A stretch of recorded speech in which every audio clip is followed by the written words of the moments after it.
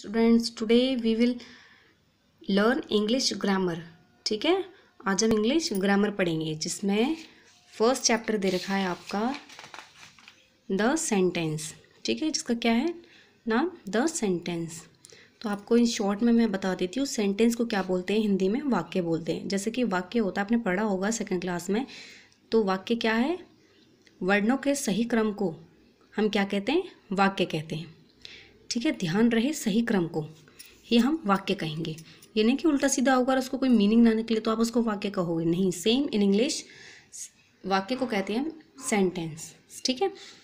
उसके बाद sentence is it always begins with the capital letter and ends with the question mark और exclamation mark similarly a sentence in just one word one word का हो सकता है, ठीक है? उसके बाद here is exercise which is related to the sentence यहाँ आपका फिर इसकी एक्सरसाइज है और यहाँ पे सेंटेंस के दो पार्ट दे रखे हैं that is subject and predicate तो ठीक है, अब हम आपको पढ़ाते हैं सेंटेंस होता क्या है? Sentence is a group of words that makes complete sense तो सेंटेंस क्या है? एक वर्ड्स का ग्रुप है, जो क्या बनाता है? एक कंप्लीट सेंस बनाता है। ठीक है? A sentence always contains a verb sentence क्या रहती है सेंटेंस के अंदर?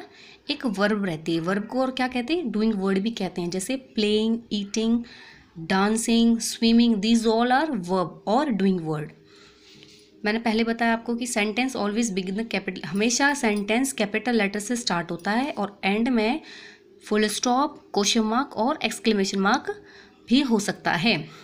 हेयर थ्री एग्जाम्पल्स यहाँ पे आप तीनों में ज़रा ध्यान दीजिए it starts with the capital letter and ends with the full stop ठीक है?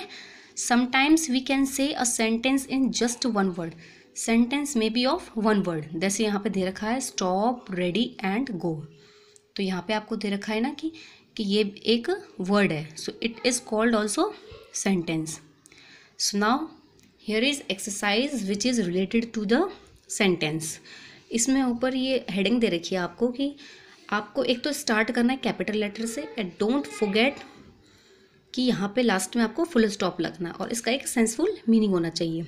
देखिए पहला are friends my Delhi in क्या इसका कोई सेंसफुल मीनिंग निकल रही है? नहीं। तो ये सेंटेंस नहीं है। अब हम इनको सेंसफुल मीनिंग इनकी निकालेंगे।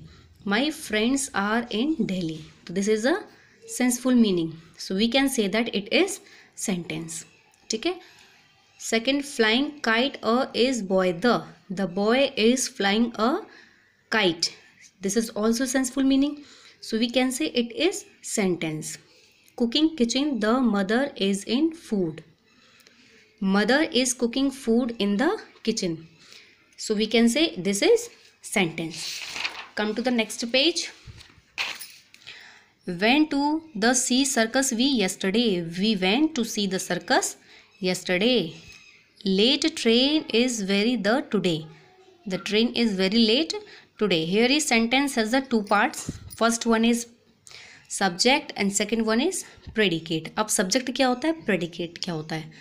देखिए, यहाँ पे कुछ एग्जाम्पल्स दे रखे हैं. The cows eat grass we are spoken about cow so it is subject and what we are said about the first part हम फ़र्स्ट पार्ट के बारे में बात क्या कर रहे हैं? ईट ग्रास तो this is predicate again I will repeat you the person the animal और the thing spoken about in a sentence sentence के अंदर हम जिस पर्सन जिस एनिमल और जिस चीज़ की बात करते हैं that is subject and what is said about और हम बात क्या कर रहे हैं?